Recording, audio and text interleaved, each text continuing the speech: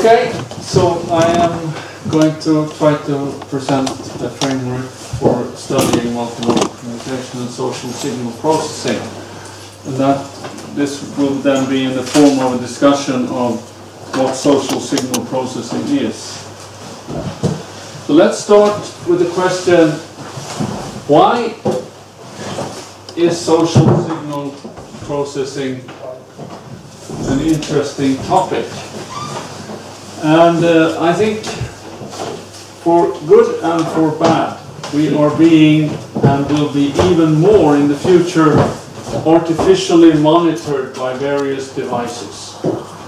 And I think social signal processing fits into this kind of paradigm. We're being, we're being monitored by artificial devices. For bad, we all know the uh, George Orwell scenery, Big Brother is watching you. So we are not going to be, you know, everybody knows what we're doing all the time. We're no longer allowed to have cash. We must always pay with plastic cards so the banks know where we are and can charge us extra money, etc., etc., etc. There will be increased control by companies uh, banks and so on, they have an excuse. They say they're controlling criminals, but they're controlling non-criminals as well. And uh, governments, big companies, lots of actors have interests in trying to survey have surveillance. So that, those are the negative aspects of this. The positive aspects are that there are benevolent caretakers. They are, are caring and uh, trying to look out for you, to look out for people who are sick, trying to help them if they need people to come and care for them. Aged people might need help if they are staying alone in their homes, etc., and they fall down and they cannot stand up. And young people, babies perhaps need help, and young people need help. Um, handicapped people, and we in general we want different kinds of machines that we're using to be more adapted to personal needs of the user. So I, I think that there are, as nearly with all technological innovations, there are lots of pluses and lots of minuses, and, and they're coming with this. But I think sometimes we should reflect on this and not just uh, construct more, because some of the things we do are going to be more prone to negative use than positive use. Are we always going to be able to tell the difference? No, we're not. But that's also part of the problem. And when we are asked to take, a tech, uh, to take an ethical stance on new technology, this is a problem. We don't really know. Let's you know think of the problems that came up when nuclear energy was was started. Similar kind of problems. Um, in any case, social processing is an interdisciplinary and multidisciplinary enterprise. The difference between interdisciplinary and multidisciplinary, multidisciplinary, you get a lot of people together and you ask them to solve a problem.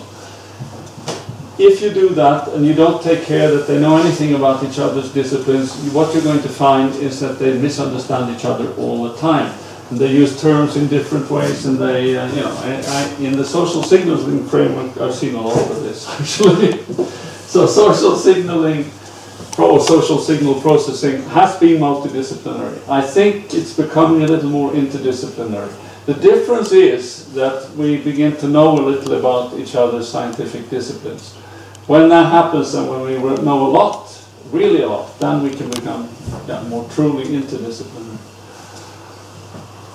Okay, and what are, here are some of the um, disciplines I think that are, are, relevant for social signal processing.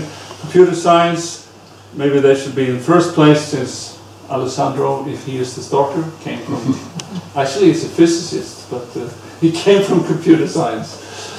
Uh, cognitive science, communication studies, psychology, linguistics, biology, sociology, anthropology. I'm probably missing something here, but to me it seems that these are the most important. There's somebody in this room who feels left out. No, physics, acoustics, and, and uh, well, visual. Yeah, they're basic for this. They, they really are. Yeah, they, yeah, they are. I mean, that, we, we are we're working on top of physics. I, I agree. but I don't know if physics, unless you de- you believe in things like the quantum theory of mind and so on, which I sometimes do because I'm interested in it. If you don't believe in that sort of stuff, physics doesn't have a direct influence. It's more indirect that we have to be aware of the laws of physics and so on. You disagree? Yeah.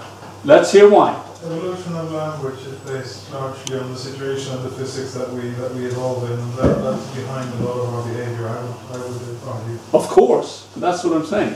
It's a background. It's not something that we're that we are foregrounding. Evolution of language is much closer to biology than it is to physics. Okay, biology is on this list.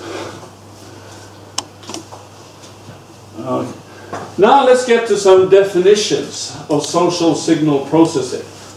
So we have here social signal processing. So I tried my hand on this now and I thought social, let's define it simple, at least two humans, animals or agents. That's a fairly simple definition. Signal, index, icon or symbols. Or if you like to go a slightly different route, which I will explain, indicators, displays and signals in a narrow sense. For those of you who are not so familiar with semiotics, this is the Peircean three-way division of ways in which we can carry information. So index is based on contiguity or causality. Uh, icon is based on similarity, and symbol is based on arbitrary convention. And according, if you believe this, which I do, then there are no other ways to carry information. That's it. So in, in this, I'm taking signal to be a, a fairly broad, undefined notion here, and it covers all three. The other alternative I'll come back to, indicator, display, and signal.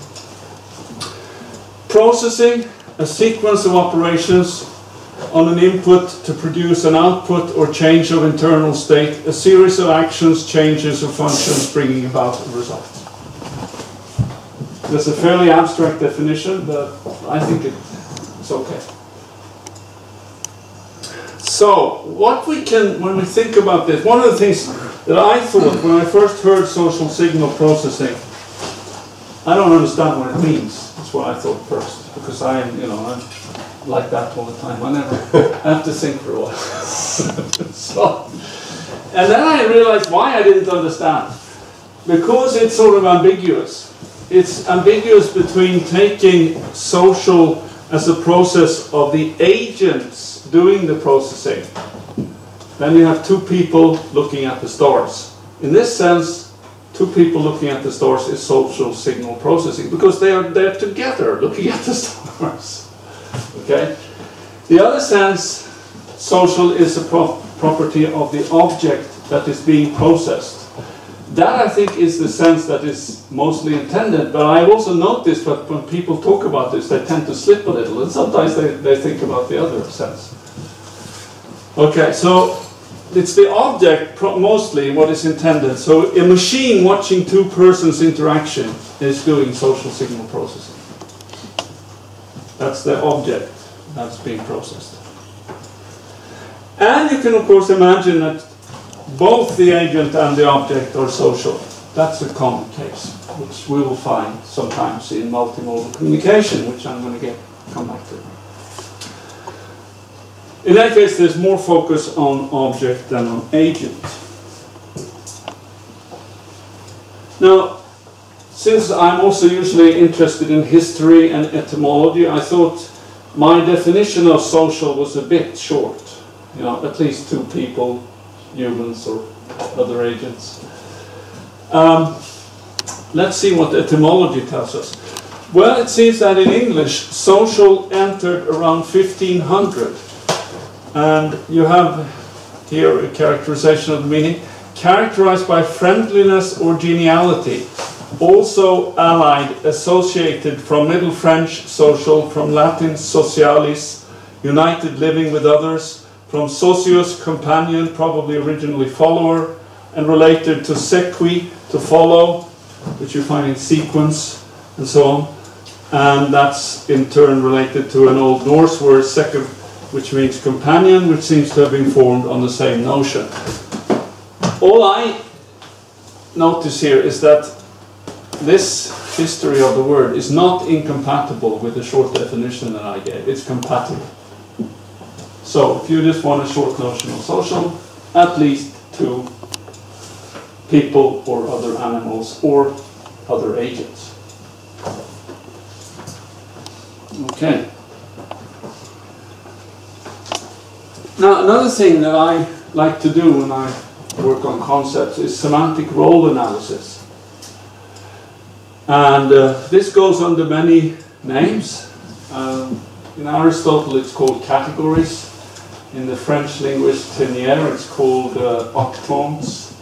And uh, okay, but it's one very popular name of this has been semantic role analysis. What it means is that you take any action or yeah any action and you look at what arguments. If you speak more in a logical way, you'll talk about a predicate and its arguments, and these are the arguments of the predicate.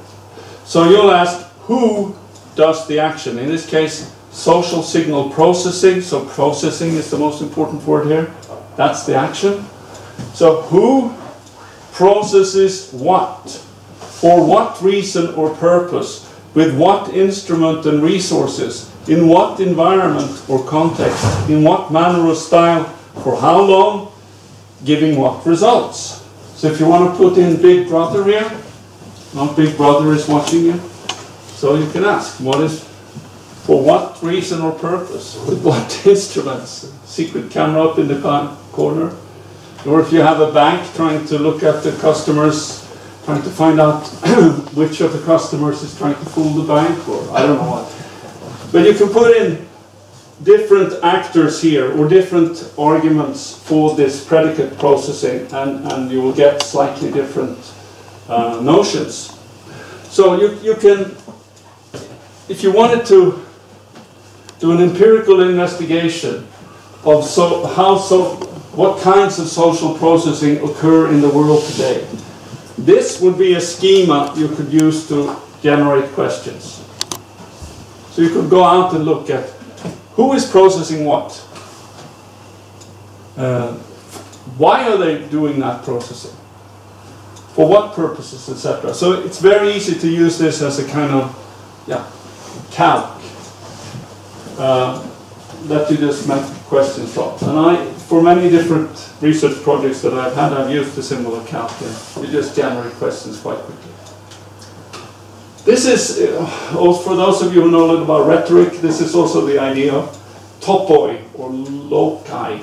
Who knows anything about rhetoric here? You should. It's a basic social signaling processing science. yeah.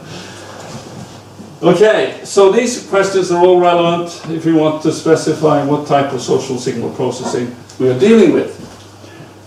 And I just thought I'd make sure give you an example here.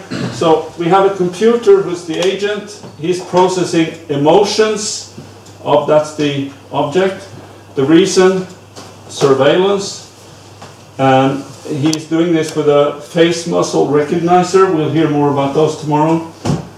Um, and it's being done in a shop, and it's being done in a very approximate manner, so it's not very exact, and it's being done for 10 minutes and it's being done in the evening and it's being done in order to give more customer satisfaction. That's at least what is claimed.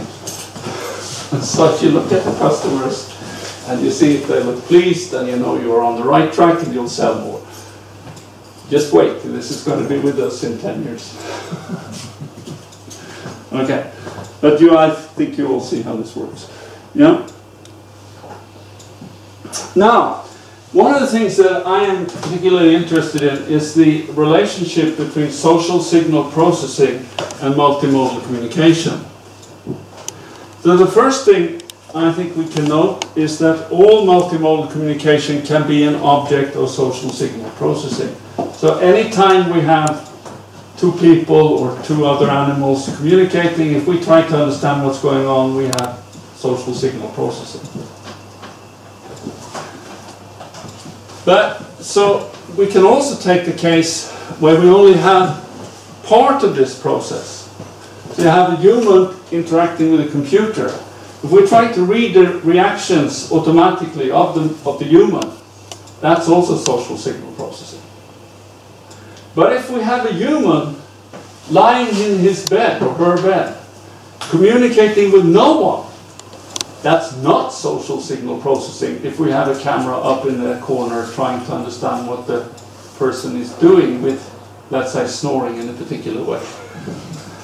At least I would not think that is social signal processing because there's no, what's the sociality of that? It's a human being who's showing up some kind of behavior, perhaps tied with some inner states, etc. But I don't see why it's social. So it doesn't mean that anything human, analyzing anything human, is not that's not going to be passing as social signal processing. There will be a limitation. Yeah. What about uh, if the person know that someone is recording him? I think that then you are partly uh, communicating with the recorder, so I would think it's okay. It's a kind of weak social signal processing. then, I mean, you're aware. You're, you're actually you're doing it for the record, so you are aware. But if you're not aware, and, you and there's no communicative purpose at all, communicative. Okay, I'll come to that. What if you have two people who are interacting, but they're, they're not really in any obvious sense communicating? They're not intending to influence each other, but they are influencing each other anyway. Is that, if we process what's going on, is that social signal processing? And is it multimodal communication? The answer is that it depends on your notion of communication. If you have a wide notion of communication, which includes non-aware and non-intentional influence and being influenced, then it is multimodal communication and also social signal processing. I have a wide notion of communication, so for me it would be. That, that, okay. If I want a more narrow notion, I will add adjectives. So I'll say intentional communication, aware communication, etc., etc. So you would, in the same way, you could have intention, social, intentional social signals, aware social signals, and you could process them. So I don't see any reason for why we should exclude uh, behavior and influence which is not aware and not intentional. I think it should be included. And if you do include it, then as far as I can see, this means that social signal processing actually is, in a broad sense, concerned with exactly the same things, exactly the same as we are in multimodal communication. That doesn't make you happy, Alexander, I think. It's okay? Okay. yeah? So let us go now to multimodal communication and uh, see if we can well, look at some of the phenomena which occur in multimodal communication and talk about them as challenges for social signal processing. And uh, okay, so here we have a definition of multimodal communication co-activation, sharing, and co-construction of information simultaneously and sequentially through several modes of perception and production occurring on several levels of intentionality and awareness. Lot, there are a lot of abstract words here. The idea, well, I talked already about the, the last part here, several levels of intentionality and awareness. So we're not, we don't want to exclude the, the case when we have non-intentional and non-aware. Several modes of perception and production, that means that it's multimodal. You, you have vision, you have hearing, you have maybe touch, smell, taste, etc. Co-activation means that I think basically communication always involves joint activation or something. Co-activation has the advantage that it doesn't really imply, it doesn't imply necessarily that what is being co-activated is aware and intentional. Sharing doesn't imply that either, but it has a little more of that sense. The whole definition is in contrast to the Shannon and Weaver approach, where you have transference of information from a sender to a receiver, which is a sort of telephone communication definition, where the, the problem with that definition is that the receiver is far too passive. You, in real communication, the receiver is active all the time and showing by various signs how he or she reacts to whatever is being shared.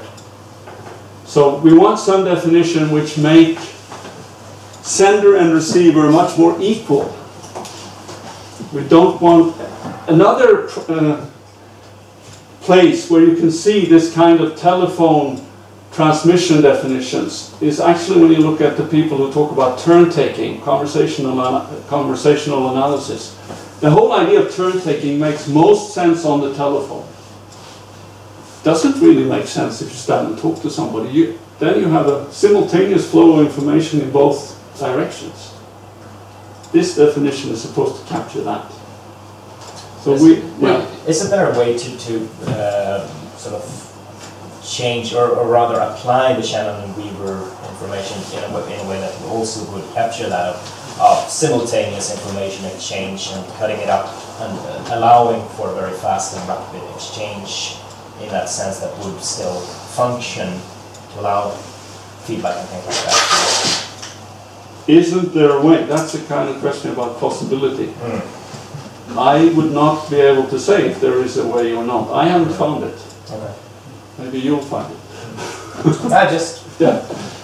Yeah? Isn't turn taking uh, very important in face-to-face uh, uh, communication as well? It's just that you have much more um, importance than in the phone conversation in what's also simultaneously happening in the simultaneous communication. So Turn you've means that, that there is a main speaker. Or, or no, it, the person who holds the floor. Problem is, Well, I'm looking but- at your but in a face as I'm talking and you're talking simultaneously with me, or you're not talking simultaneously, but you're at least doing things with your face. But I'm avoiding talking at the same time. Uh, time. maybe so, but you're doing things with your face which Oh, might be equally informative. I agree. But there's these two levels to consider then. So on the one level, are I'm stopping and listening every time you're talking, and then, you know, waiting for the cue that it's, you know, that you're gonna start talking, and then generally I, I shut up. So in the model we have, which I'm soon going to show you, the model we have that I'm soon going to show you, we have a main communicator. We call it instead of whatever, what we call it main communicator. But that's in order to stress the fact that the others are also communicating at the same time. Okay, so we have this simultaneously flow of information. And I'm not denying the fact that at least sometimes we don't talk at the same time. It's sort of, yeah, there is a kind of, kind of turn taking, but not as strong as the sense that you get in CA, in conversational analysis. But they are the I think that's probably right. And I think the reason that this CA model has been so popular with computer scientists and so on is the fact that it is so similar to telephone talk and the kind of telephone processing definitions that you find in Shannon and Weaver. And I, it's much more complicated if you start to actually seriously consider the fact that information is flowing in both directions. So at the same time as you're a speaker, you're also a listener. Same time as you're a listener, you're also a speaker. And that's going on all the time. Okay, this definition is supposed to allow that. Right? So here is a little model that we use. A and B are communicating. The idea is that while they're communicating, there are influences going on on several levels at the same time. So this is the most unaware, the most unintentional, usually also the quickest, uh, unpremeditated, etc. This is the most aware, the most intentional, and usually also the slowest. Uh, there are many adjectives as, that you can use. What, the difference between this model, which has three levels, and Kahneman's um, model, which he published, was it last year? Who read this book by Kahneman? That was, it was a lot discussed. You haven't heard about this? It just has two systems. But the two systems are like Freud. So, you know, it's like, now Freud has three egos actually. yeah, he has the super ego as well. Okay, but in many models there are just two, conscious and subconscious, or conscious and non-conscious or something. And Kahneman also has, he, I think he goes on system One, one, two, system two, yeah. right. And it was published last year, but it Last has, year. had published papers on it Yeah. for a long time. Right. So anyway, it's been popular with many psychologists to think that you only have two. But here we have three. And the reason for that is that we have these words here, indicate, display, and signal. And I said I was going to come back to those. So that, that's an analysis of levels of intentionality in communication. So if you don't intend to communicate anything, you're just doing things, but another person sees you and finds what you're doing informative and draws conclusions about you on the basis of what you're doing, that's indicating. Okay? So maybe, I don't know what I'm indicating today. Maybe I'm indicating that I like the color red by wearing But I hadn't intended to communicate that to you, I just like the color red for my shirt. And maybe you drew that conclusion or something like that. I don't know if you did or not. But that would be indicated, okay? If I'm wearing this color shirt in order to show you that I like red, then I'm displaying. Then I'm displaying my fondness of the color red. If I'm also wanting you to realize that I am showing you that I like red, that I'm signaling in this narrow sense. This is a different sense from the sense the word signal is used in social signal processing. Here it's a very specialized thing. Yeah, Uh, if I'm, you're wearing red just because you would like to get attention from the people, you know, like a color sign, like Yeah. that is usually then I'm displaying. same. Display. If I want you to realize that I want to get intention, attention, then I'm signaling.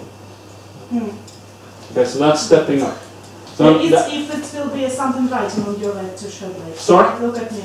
If it will be something writing on your t-shirt, like for example, in your Written, yeah. yeah. yeah. Then I would be, depends on, I could be either displaying or signaling. It depends if I want you to realize that I'm showing you something or not. If I'm just wearing the shirt because it happened to be a shirt I bought and I not even saw the text myself, you know, I might even be indicating what's, what's being written. It, it, this has to do with what level of engagement I have myself with my own behavior in relation to the other person. This, this is what I, I usually call communicative intentionality. Yeah? So would you say that people are, I, I really like this model by the way, so this isn't a criticism, but would you say that people are more, that are more aware of what they're doing, maybe students of communication, for example, are by necessity displaying more often, because, simply because they are more aware? It's difficult to indicate if you know everything. Take me, I am such a person. Sometimes I switch on that level and I think I therefore display more. I am aware. But, okay, but there's a difference between, okay, I haven't gone into all the details here. There's a difference between myself being aware of what I'm doing and wanting you to be aware of what I'm doing, okay? So that's another, on the fine details of this, we get into that difference also. You could still be indicating even though you are theoretically aware of what, what it is you're doing. I could, then I would be aware of what I was indicating. Mm. Right, so that, what this shows is that in a finer analysis, and I have a paper where I do this, you have to tease apart intentionality and awareness. Right. They're, they don't always accompany each other. I'm doing it a little more uh, yeah, coarse now than it could be done. But that's right, they, they, and there are other dimensions as well, Jens, like speed. And I, actually, I think I have five dimensions in my latest paper on this, and they can all be teased apart in, in certain situations. Yeah. But if you want to lump them all together, it's something like this goes. Okay, um, right. I don't know if I have to say more about this. Yeah, no, no, I have to say this too. So these show that the level of awareness of something or the level of intentionality of something is not constant. It can, it can move from being very aware to being less aware or from being very not aware to becoming more aware. emotional perception, being aware of how you're reacting emotionally, for many people, starts here and then percolates up. You realize that you're angry. People might, you know, in the beginning they don't realize, and then it grows on them and they get more and more angry. And some, I'm like that, for example. It goes a little slow. Sometimes I can get angry. It depends on situation. But the whole point of this model, anyway, is that both on a long-term and a short-term perspective, the levels are not constant. They can move up and down. Okay.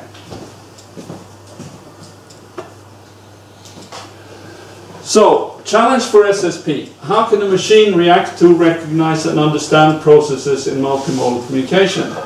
To what extent does the machine's processing have to be analogous to the processing in multimodal communication between living organisms?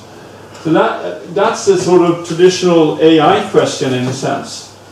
You know, um, when we create intelligent machines, do they have to be intelligent in the same sense as human beings? Do we have to do things the way human beings do it, or can we do it in a com- completely different way?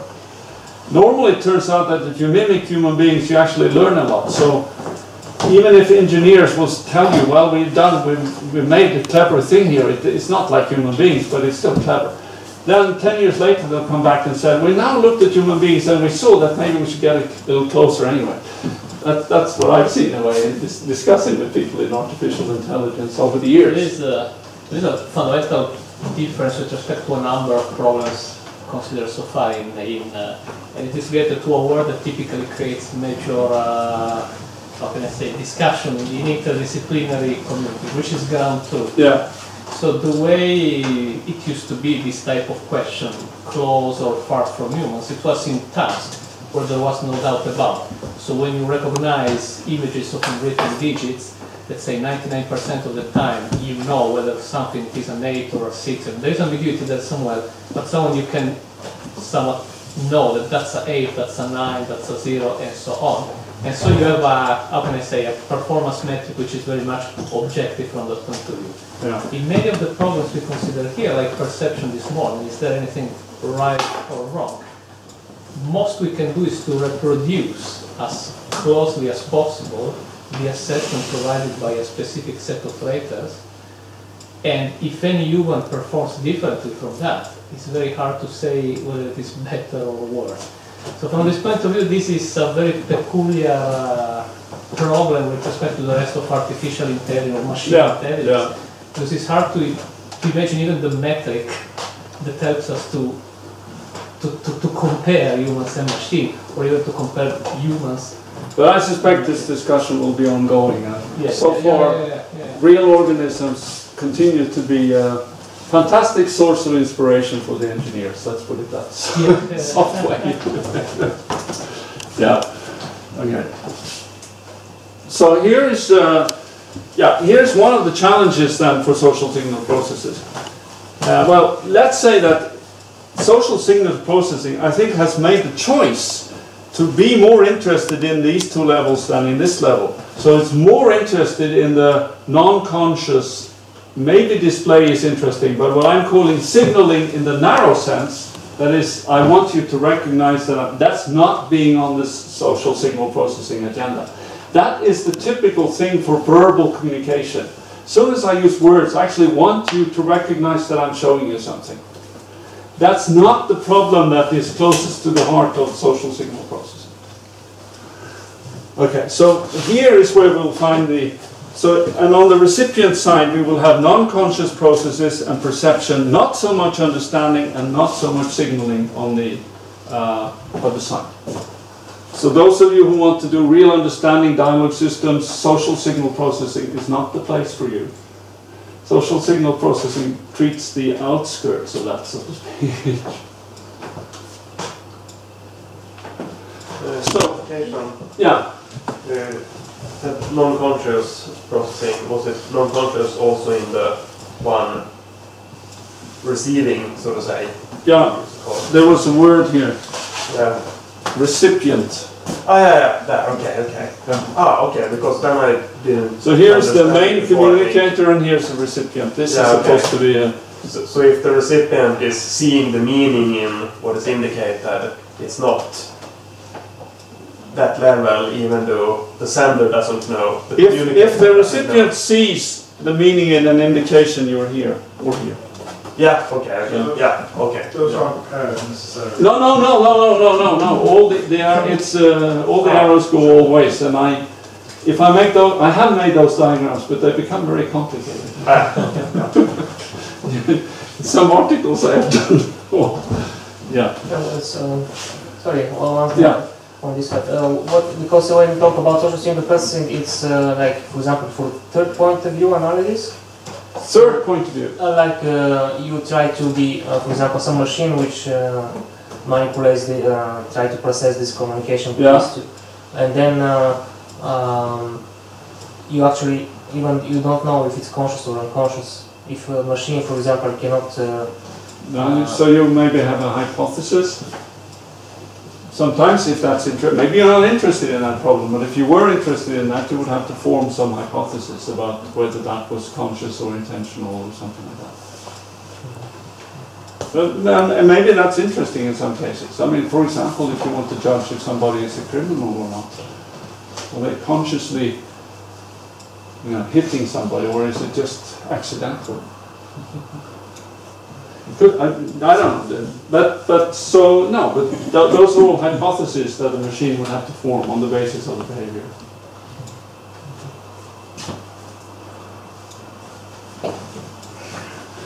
So there are a lot of, of uh, means of expression, communicative expressions, over and above the auditory aspects of speech. So Jürgen told you a lot about the auditory aspects. But here's a long list of non-auditory. Facial gestures, head movements, gaze direction, pupil size, lip and jaw movements, hand and arm movements, leg and foot movements, body posture, distance between communicators, spatial orientation, clothing and bracelets, touch, smell, taste, non-linguistic sounds, heart rate, blood pressure, and skin conductance. Okay, and then we can probably get into other things. I mean, some of the most spectacular things that people are do, doing now have to do with the things which are, you know, really on probably low level of awareness and so on, like heart rate, skin conductance, and so on. They are also involved in communicating. They're also part, I would at least say, of what social signal processing should be interested in.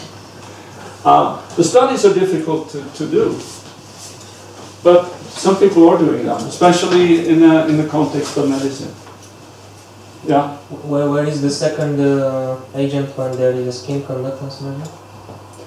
You see that? You and I are talking. I'm saying something uh, upsetting to you, and I have a machine measuring your skin conductance. It's going to change because I'm saying that to you. Okay. That's it. The heart rate changes in you.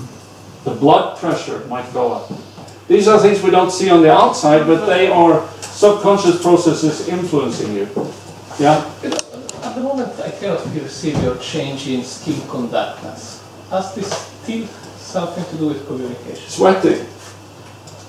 No, it's a, it's a, it's a, it's an external sign of uh-huh. something that I have done that influences you. So you're showing me a sign in your body that you were influenced by me.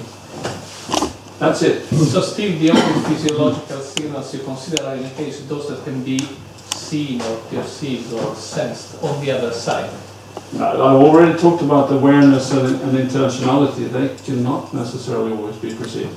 But, but these, but of course we are on the lookout if we have the kind of natural science uh, inclination. We are on the lookout for those things that can be measured. No, thing is it can be measured, and from a measurement point of view, it's fine. But one thing, if I try to see coherence with respect to all these things so far, at the moment I cannot detect your uh, physiological changes. You cannot Uh, detect. de- detect or feel or sense. But these are things. These are physiological. Heart rate, blood pressure, etc. But can I see your heart rate or your blood pressure? No, but that we have the we are open to the fact or to the possibility that we human beings don't know everything about the way we influence each other. We, this thing about contagion that we discussed this morning, we don't understand. There, there could be some mystical things still going on. We don't really know. But still to include them in the discourse, you admit that there must be this possibility of sense in it without even realizing. There has to be some sort of sense, yeah, but we don't know everything about how the senses work. We don't, I mean, I don't know if your heart rate somehow influences me. I don't know. Old-fashioned view of this is that it, we think we know, because I cannot see your heart beating, but maybe in some other sense I, I'm sensing your heartbeat going faster. I don't know. But imagine if, if no, imagine at a certain point we know that no. Well, it could be that way, yeah. But actually, I know a woman in Vienna who's done a lot of studies where she's shown that actually all these things are influenced in interaction. And, you know, they're, they are systematically influenced, so it depends on what I do, then the other person will have. That's, that's okay, I mean, it's, Yeah. it's clear that if, if you insult me or if you attack me, it's clear that my, Yeah. but do you feel my heartbeat? All of I don't the, know. Does my heartbeat influence you? all of the things on that list can be perceived by people under certain circumstances, without any doubt. Every, every single one, including the heart rate. And- and it's But uh, okay. you can My hear question di- is- Jitter increases in, in the vocal cords when you have a high blood pressure. Yeah, my question heart. is, if they cannot, should Yeah, they be in that list or not? No, that's my question. Right. If they cannot, should they be in that list or not? That gets back to the question, if they do not influence the other person, they should not be on this list. But they could influence the other person without the other person being aware of it. So then, this depends on your notion of communication. If you have a narrow notion of communication, you exclude the things which you are not aware of, you should not have it on this list. If you, like me, have a broad notion, it should stay there. Yeah, if there is even not way to influence when you have the device, you make actually way to influence the other person. So maybe again should be in the list. Could be, yeah. Yes, yes, I mean, it's clear that maybe we will evolve with our, mach- our machines and we will have new ways of it, that's possible, sure, yeah. Why you laugh? That's fine.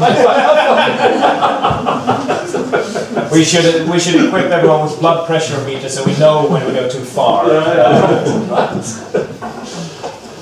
Okay. We don't know everything yet, that's why we're in this, it's an exciting field. But anyway, like uh, heart rate influence uh, the I don't know your sweating, so influence your smell.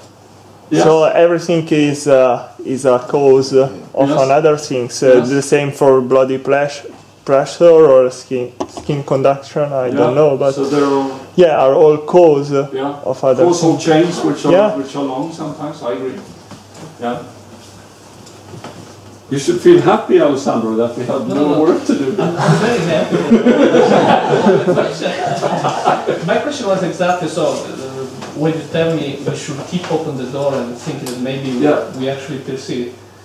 Still, it seems to me that what you mean is by keeping the door open, you still pose the condition that in the case, whatever phenomenon happening in people that cannot be perceived by the other, should not be, uh, do I I don't agree. No, I don't No. agree because you're all the time saying perceive. Or sensed, or, um, Okay, and you include in that non-aware influence. okay. Okay, if you include that, yes, then I say yes, I agree with you. There has to be an influence of some sort. Yeah. Okay, okay, yeah, yeah, I'm talking about influence, some Yeah. kind of, uh, yeah. Yeah. No, no, no, I agree there. No. So it's, it's, it's why I said that, you know, if this person is alone in the bed and you have a camera and so, that's not social signal process. So I, it's not that I want everything in here. uh, to, uh, something that is not present uh, in the present moment. But Yeah. For example, I know your background, and Yeah. that is affecting me between in the communication I'm doing with you. Yes? Is that social signal processing? And you're not showing it right now, but I happen to know something. But I haven't talked about all the factors that will influence your interpretation here. I mean, there are lots of factors that will influence your interpretation. We heard about personality this morning, but I, I haven't really talked about that yet. I, I, I don't want to take a stand on that right now. But I think it could be, that kind, could be the kind of thing that could influence your interpretation. Okay, so, uh, yeah, we have already talked about this. I think that the focus in social signal processing will be on index and icon and not so much on symbol. So it's not words out. The rest. Icon and index, and perhaps especially on index. I don't know how much you've done on icons actually in social signal processing. That's where you use similarity. But in I, basically, I think it should be there. But the, foc- the focus in social signal processing is, is on index, and it's definitely not on symbols. yeah. I think there's a problem there that I feel when I read things in social signal processing, for instance, that you you use uh, another language or you you block so people don't understand only reciprocity and so on. Uh, you can do that, but, but then if you want to apply this to real life situations, people always you always have the content of what people are saying, and that's very important. And uh, by, by filtering it out, you're creating a kind of in- artificial uh, situation in a way, uh, which is interesting in itself, but how you put them together then in the end. Yeah. Well, not for machines. Eh? We should always remember that we take all of this and we squeeze it to a machine. When we do this experiment, for example, in seeing whether you can do that without the words, it's not just as an experiment, it's because for the machines it's much easier to deal, to extract from a signal speech and that kind of Yeah. stuff than to transcribe it. For Yeah, example, that's there true. is often a uh, barely technological motivation there. So one of the attractiveness in the end for non-verbal communication in the end is that it can be sometimes much easier to detect and deal with than how it is uh, recognized, really transcribed, for example, what people say. This is a question that often people pose to me after a presentation, why don't you use what people say? Well, in part because it is much more difficult to get sometimes, in part because it becomes language dependent, we have a lot of speech recognition for English, but change language it becomes extremely complicated. In times because, you know, in this big brotherish society we are having, still, for example, what people say is still relatively protected by privacy issues and so on. Mm-hmm. Yeah, I can understand that, that it- it's, a- I understand all these points. It's just that I think of practically, I mean, applications Yes, and yes. so on, that if a person will listen to this and then we get, uh, well, what's that, what they're actually saying, well then, cancel what I thought. I mean, you could get that kind of situations too. Yeah, no, clearly, clearly. But okay, but it's okay in the development of science to parcel Yeah. things up a bit, and some people concentrate on some parts. And social signal processing, from my point of view, because I'm interested in communication in general, including content and understanding and so on. But I, I think it's been under researched compared to the other part. So uh, it's, I think, okay to devote some special energy to getting uh, more information on these parts. Yeah. It's not minutes. Yeah, but we've had a lot of discussion all the time, so. Uh, so the contents of multimodal communication. SSP in principle should recognize all multimodal contents since they occur as contents to be shared, shared socially. This is Elizabeth's question basically, right? In principle, that word is, okay? So let's look at the contents of communication. Here's an attempt at the taxonomy. Physiological states, fatigue, hunger, should be recognized.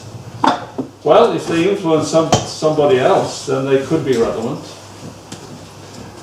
Character, identity, personality, stance. Well, we heard a talk this morning where Alessandro was arguing that that could be part of it.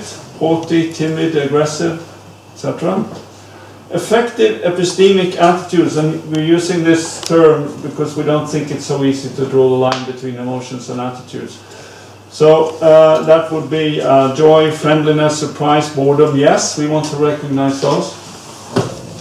Factual content, giving information about our beliefs and assumptions concerning facts. No, that's not the main interest of it, social signal processing. That is the main interest, perhaps often in when you have more verbal systems. Communication management. That is information about interactive communication management, like feedback, turn taking, sequences, etc. And own communication management, like hesitation, choice, changing what you're saying. That probably should be part of what we're doing in SSP. I'm not sure. I haven't really got a clear view on that from people in SSP yet. It's definitely something you're interested in if you're doing conversation and dialogue. Um, okay, so I've written here as a conclusion, SSP should be able to handle all types of content, but has less of a focus on factual content. That's, I don't think I have time to do this. I was just going to tell you that small talk is important. And if SSP has any claim to fame in the realm of the social, it should have something to say about or do in small talk. I think I'll skip that right now. Uh, I think maybe this might take too long also. This is part of the theory that we, where we have two people or more communicating and their contributions to the conversation has different orientations. There is a responsive orientation, reaction to what has been said. There's an expressive, expressing some emotion or attitude. There's an evocative, trying to call forth a reaction from the other person. And there's a referential, trying to talk about something in the world. If we were really going to do semantics and pragmatics and SSP, we would have to do something about all of these. And what I have following this is example, but I won't do that now, I think. And interaction, well, I don't know how if all of these are in, the focus of SSP, but if interaction management is part of it, then I think feedback, turn taking, sequencing, rhythm, other aspects of the synchronicity of behavior. So there we get back to the heart rate, hmm. maybe. Yeah. So I think those those are all part. And then we can notice that people who are in social signal processing have been also interested in various interaction modes. So here are some fairly basic interaction modes. Conflict, competition, cooperation, collaboration. All those have been under some investigation, but, but it's the aspects of these which are indicated, displayed, indexical, iconic. It's not the symbolic, not the really understood, not the verbal aspects of this. Okay. Conclusions. So I have been trying to give a definition of social signal processing and done some semantic role analysis of what it is. And then I have tried to give an analysis of the relationship between social signal processing and multimodal communication. And I have uh, given a description of some of the challenges facing social signal processing if, if you have your point of view coming from multimodal communication, I would say. Thank you.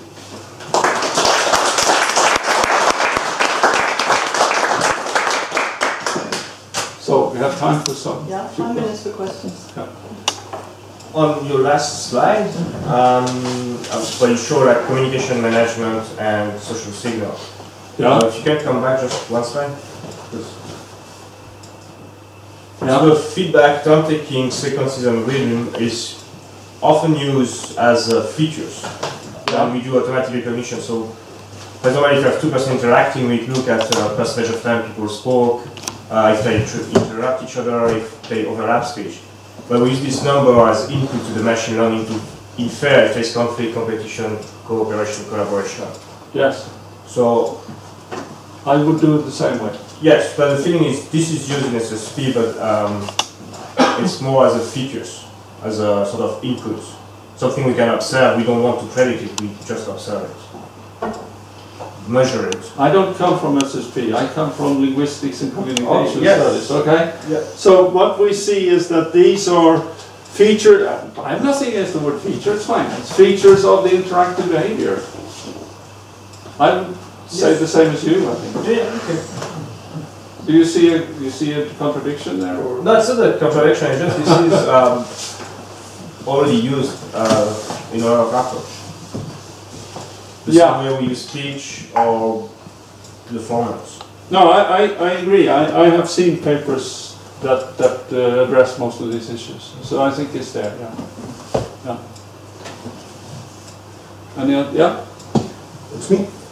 I have a comment on the term signals. yes? Um, I think I disagree with you on signals here, and um, for I used me, it in two different ways.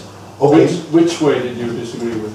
Uh, let's see, um, let's put my definition first and then you can see where we Yeah, disagree. Yeah, I know signals as a term where we can see the physical appearance of audio signals, video signals, bio signals or whatever, yeah, which you can measure on one level and signs on the other.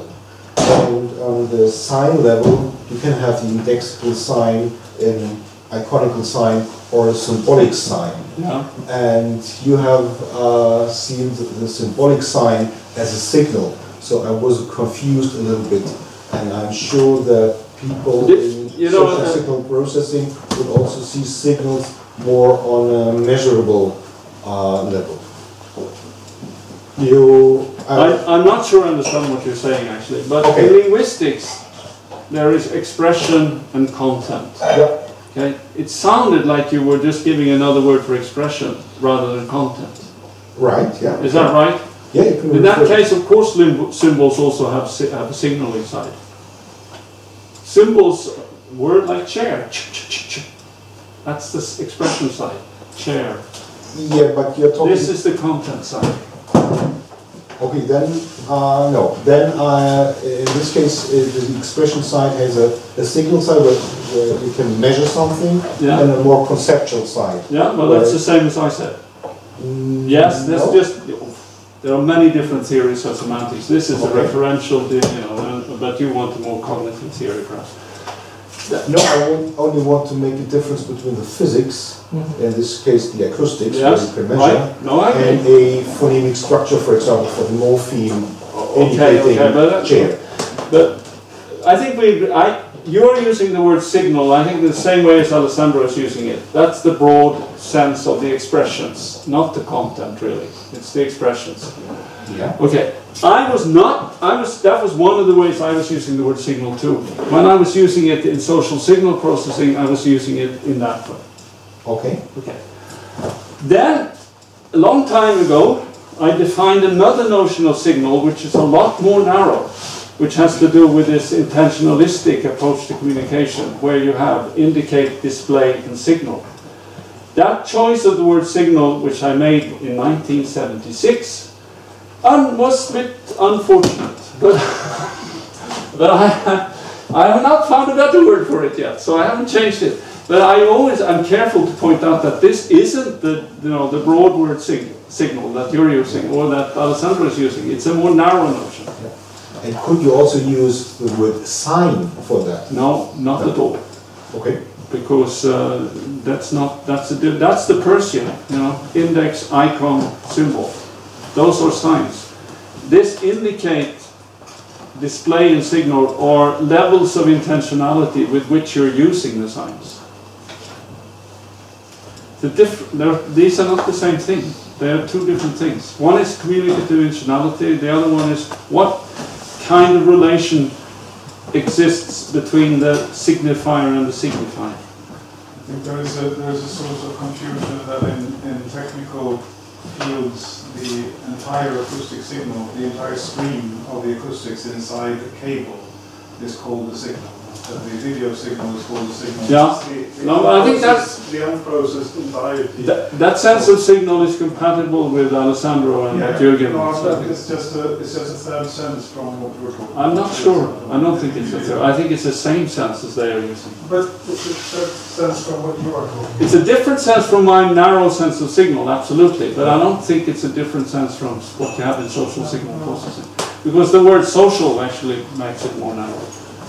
Yeah. Yeah, Christina.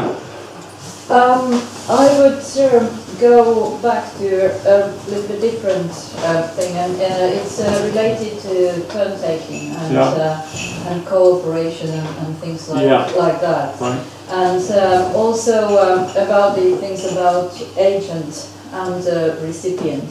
So if I understand um, correctly, you, you were trying to, for instance, in turn taking, you were trying to, to say that it's, uh, it's more like a, uh process where both uh, uh, agent and recipient are kind of creating uh, that um, sort of Share what we, what we, yeah, sharing what we, Yeah. we can call turn taking. Yeah. But, but one thing is that um, uh, if you think of the agents as uh, sort of uh, autonomous, uh, intentional, aware of their, their um, kind of behavior, they are independent persons or independent agents. Yeah.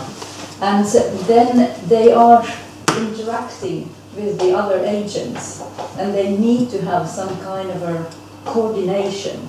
So basically, this kind of um, sharing is a result of some behavior that uh, takes place when both of the agents or several of the agents um, of individually make certain decisions how they behave and react to a certain certain uh, situation. Is that are you still sort of uh, following? And then what what I wanted to ask is that how how do you see this this sort of what you call interaction modes or cooperation? That's one of your basic important uh, uh, Well, if- concepts. if you remember in my Yeah. counter Okay. cooperation, I have several levels of cooperation. Yeah. Okay, so the lowest level is called coordination. Yeah, and then you have collaboration, and then you have cooperation. So on the lowest level, exactly what you described, we have coordination, which sometimes can be subconscious, etc. That that's uh, and then when we add intention to go for a joint goal, goal we get to collaboration. And then when we add ethical considerations, etc., we get uh, cooperation. But when you, sorry, when you take turns, so that is a cooperation or it's, I think it's I think it's uh, collaboration. okay. It's coordination plus a joint goal of sharing understanding. Usually, or sh- sharing some joint goal anyway. That that's why you take turns because you want to you want to get to a joint goal, and and in communication it's shared. That's a shared understanding. So I would I would think of that as a type of uh, collaboration. yeah. But collaboration is an intermediate stage then between coordination and cooperation. Okay. That, that's, yeah. We should stop and have some refreshments. The workshop refreshments. seems to start at the same time. Yeah, it's, uh, ma- maybe we need to have a little coffee and, and drink and then we start the, the workshops uh, maybe in ten minutes or so. Yeah. We, we have to divide the groups and start from here. Yeah, we start here, yeah.